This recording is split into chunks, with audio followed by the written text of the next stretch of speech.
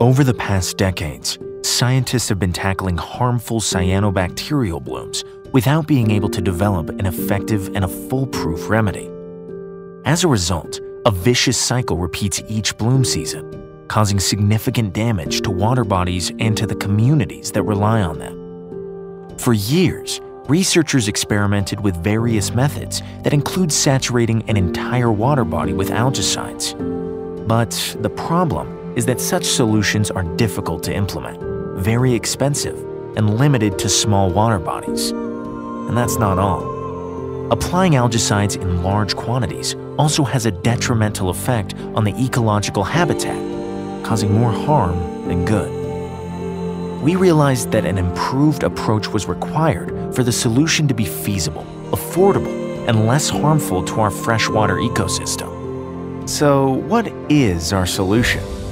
We take the same algicides and encapsulate the granules with an inert biodegradable coating causing them to float on the surface naturally, along with the currents, targeting only the cyanobacterial cells on the surface while minimizing diffusion to the lower layers of the water column, thereby transforming a solution previously limited to small ponds into an unlimited one, working on water bodies of all sizes by relying on minimal amounts of algicides, making it cost-effective and safer for our environment.